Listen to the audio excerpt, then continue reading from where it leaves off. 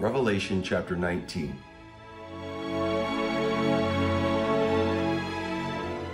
The themes of this chapter include heaven's praise to God at the judgment of the great whore, the marriage supper of the Lamb, and Christ's return to earth on a white horse at the battle of Armageddon.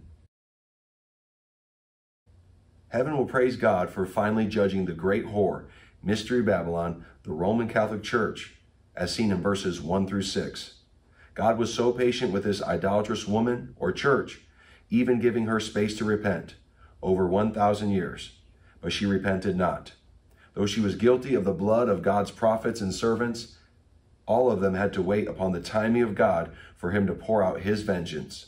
For vengeance is mine, saith the Lord, as Revelation 12, verse 19 says. And Revelation chapter 17 and 18 gave us a powerful look at the destruction of Rome and the Vatican. Recall that God doesn't delight in the death of the wicked. Ezekiel 33, verse 11 states this plainly. But just as with Sodom and Gomorrah, the just and fair God had to pour out his wrath due to repeated disobedience. We see the same repeated disobedience of the Roman Catholic Church, refusing to repent for over 1,000 years, turning down God's reformers like Martin Luther and John Wesley, and more recently, God's prophet, Brother William Branham. The marriage supper of the Lamb is revealed in verses 7 through 10, and we learn that the Lamb, Jesus Christ, has a wife, which we know is the New Testament, Holy Ghost filled Gentile church, according to Ephesians 5, verse 32, and Acts 15, verse 14. This marriage supper will be a time likened unto a wedding reception for Christ and his wife, and will include a glorious time of communion as taught in Matthew 26, verse 29. While Jesus' bride is having communion, the earth and the remainder of its inhabitants who did not receive the Holy Ghost are being purged during the awful Great Tribulation period. Christ's return to earth on a white horse at the Battle of Armageddon is detailed in verses 11 through 21, which is the public universal event of Christ's visible return to earth for his second coming at the end of the tribulation period. For the scripture says that every eye shall see him, and they also which pierced him, and all kindreds of the earth shall wail because of him. Even so, amen. According to Revelation 1, verse 7. Revelation chapters 14 and 16 also detail the battle of Armageddon as all men gather in vain to make war against the Lamb.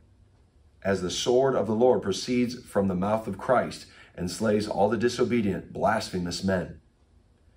This is the stone cut out of the mountain event of Daniel 2, verse 35.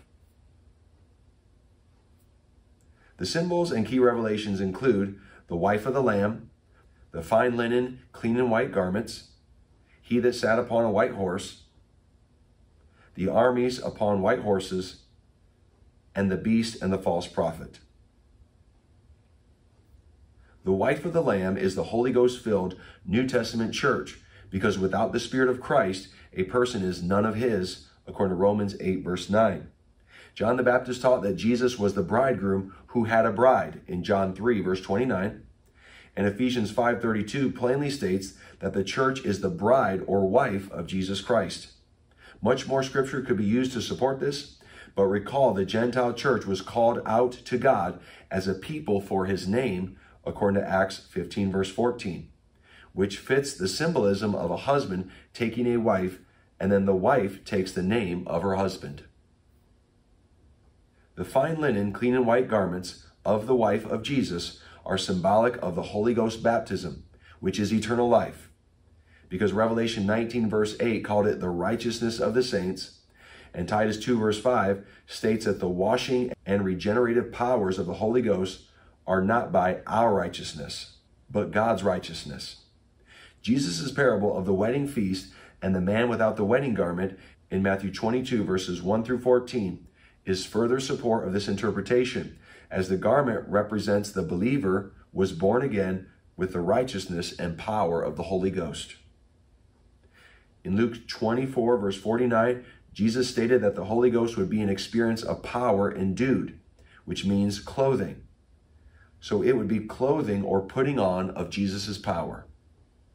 God's prophet, Brother Branham, says the white robe represents eternal life, which is scriptural, as the fifth seal shows the Jews receiving eternal life or white robes. And this is true because they denied Christ while on earth because they were blinded to him, as Romans chapter 11 says. So the Jews could not have eternal life while blinded to Christ as the Messiah.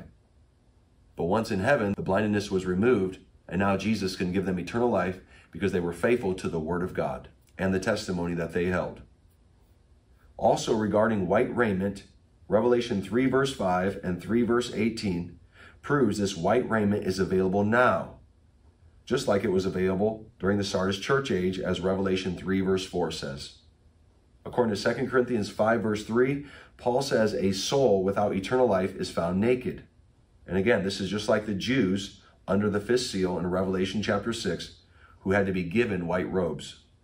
Brother Branham taught this in the Sardesian church age chapter, chapter 7 of the church age book.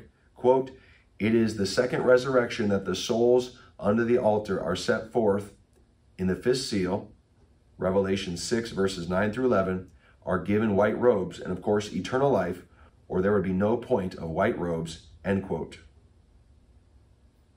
He that sat upon a white horse is a key revelation from Revelation 19, verse 11, of the second coming of Jesus Christ to the earth. Jesus only is faithful and true, as he is called faithful two more times in the book of Revelation, chapter 1, verse 5, and chapter 3, verse 14. Christ also has eyes as a flame of fire, as spoken previously in Revelation 1, verse 14. Christ is called the Word of God in Revelation 19, verse 13, and John 1, verses 1 through 3 and verse 14. Christ is also called the King of Kings and Lord of Lords in Revelation 19, verse 16, and 1 Timothy 6, verse 15, and Revelation 17, verse 14. At this second coming of Jesus Christ to the earth, Christ slays all men in his righteous judgment, officially ending the day of man, as he makes ready for the Lord's day, fulfilling the times of the Gentiles' prophecy of the stone cut out of the mountain from Daniel chapter 2, verses 31 through 45. The armies upon white horses is a revelation that reveals the true nature of the Holy Ghost filled New Testament church. Every born again Christian is a soldier, as 2 Timothy 2, verse 3 says, and lives their lives on earth battling spiritual wickedness in high places, as Ephesians 6, verse 12 states. The Christian soldier puts on the full armor of God in order to stand against the wiles or deceit of Satan. See Ephesians 6, verses 11 through 18. Every Holy Ghost filled Christian is a spiritual king who rules over sin, the world, the flesh, and the devil. Also, it is a blessed revelation about these armies riding white horses, as these horses came down from heaven, proving that heaven has a place for animals. Revelation 7, verse 4, and Ezekiel 1, verse 10 prove that there are living creatures in heaven that resemble a lion, ox, and flying eagle. 2 Kings 2, verse 11 also reveals there were horses of fire in heaven, for the chariot of fire and horses of fire are what took Elijah to heaven by a whirlwind. The beast and the false prophet Pope are revealed as the following. The beast is the evil spirit or power of the past ancient Roman Empire and current kingdom of Rome, according to Daniel 7, verse 23, or Roman Catholic Church. The false prophet is closely connected to the beast or spirit of Rome and is called a man. Since a prophet is one who speaks for God, we conclude that the one man who claims to speak for God and is false in his doctrine and is closely connected to the spirit of Rome is the Pope of the Roman Catholic Church. Both the beast and the false prophet will be cast alive into a lake of fire burning with brimstone, according to Revelation 19, verse 20. See part 3 of our video series called Mystery Babylon, the Roman Catholic Church, for more teaching on the false prophet, or see chapter 9 of my 2021 book, The 12 New Testament Mysteries Revealed. The timing of events is as follows. The marriage supper of the Lamb will happen in heaven while the judgments of God are being poured upon the earth during the seven year tribulation period. This is proven from the parable of Jesus from Matthew 25, verse 10, as it reveals all those without the oil or baptism of the Holy Ghost are kept out of the marriage, which represents the marriage supper of the Lamb. Revelation chapter 22, verse 13, is a second witness that shows a person without the wedding garment, which is again a symbol of the baptism of the Holy Ghost, will be kept out of the wedding or marriage and cast into outer darkness with weeping and gnashing of teeth.